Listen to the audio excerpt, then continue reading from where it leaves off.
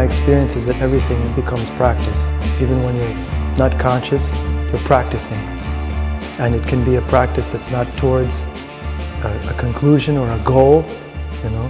What is it? What is it? We say a means to an end, you know, but really just the means. So maybe it's maybe it's a crutch. Maybe for me it's like a, a way to survive, also to to have an identity, a way to function in the world. The space for me is the number one dictator of the, the direction of the work.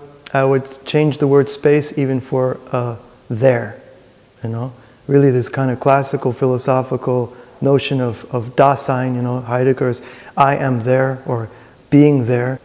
This contingency is inevitable and impossible to escape. For me to be, I have to have a there. For me, the experiences, these paintings are all unfinished. Maybe five years ago, I had an experience where I was in a gallery, I saw one of my paintings, and I thought, this is not painting. This is something that is, this is something else now. And for me, it was a very frightening moment.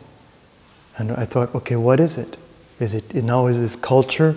Is it entertainment only for aesthetic pleasures or aesthetic consumption? I still don't know what it is, but it's something else. So for me, the problem then became in the studio is it possible to make a work or to make a painting that is always painting? So it's not so much, it's, I have no desire to put out what is unfinished, but I do have this kind of idealist desire, obsession, to release work that is still working as an, instead of worked, instead of concluded. You know, how can I put something out that is not a document that is fixed? The viewer, whether I like it or not, is always present.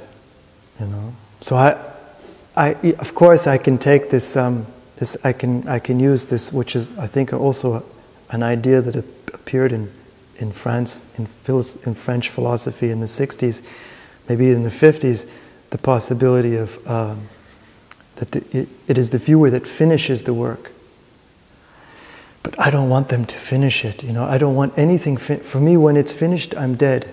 Yeah, this is this is what it is to be finished. And this I don't even know because I can't experience what is death until I'm dead. You know. I do think now. Uh, it's still idealistic, perhaps, but I do. I have the experience now that that there that you can put work into the world. You can release it from your studio in such a way very carefully and very thoughtfully that it's working. It's working with intention.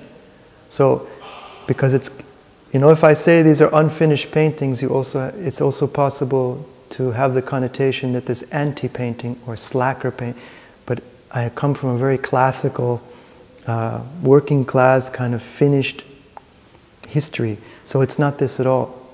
In fact, it's, it's the inverse, you know. I feel like to, the most generous way you can release work is in, in, in such a way that it's moving. And not just visually, but moving, asking questions. When I stop working on a painting, so it's, it's definitely not when it's finished. I stop working on a painting and I know it's ready to, to leave the studio when I, not only is it, is it working itself, but it's working without me.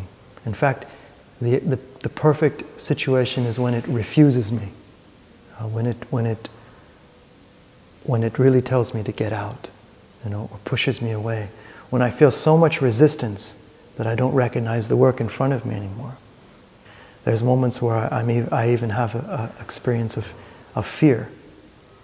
Uh, this has happened in the past few years, where the paintings, almost that they have a kind of um, a violence or a, a haunting uh, aura. My work is heavily influenced by, I, I think of a filmmaker like Tarkovsky, you know. And even, even in Tarkovsky's early films, it was too much movement for me. Films like, uh, I prefer films like Sacrifice or Stalker, where there is this slow power that doesn't climax, you know, but that's always there. So you, it's like living in tremors you know, or in a state of emergency, what, the, what our governments now love to call after an attack. They like to tell us we are living in a state of emergency. Uh, because this way they really have us by, by our roots, you know, and you never know what's next. It's a little bit demented to have to, to need this, this state of emergency to, to live, but it, you start to maybe smell a little bit more, hear a little bit more, see a little bit deeper. And, and for me, this is also what I try to put at the bottom of, of, the, of the, I almost called it rehearsal, but of the practice. I, for example, I put wheels on all my tables. There's no chairs in my studio. Uh, and I'm constantly moving all my tools around. The paintings are on the wall, then they're on the floor, then they're on tables, then they're outside. And I have to constantly move them, especially if I begin to feel comfortable. And this isn't because I have this kind of um, Protestant work ethic or, or what, you know, this, uh, I have to work, you know, I'm compelled to work.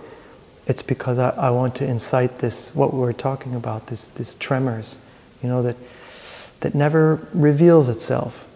Because as soon as it reveals itself, you know, it's Hollywood. You know, it's, it's, it's, you have Steven Spielberg has given you something, has given you a conclusion, and then you can walk away from the theater very happy, and, and then you become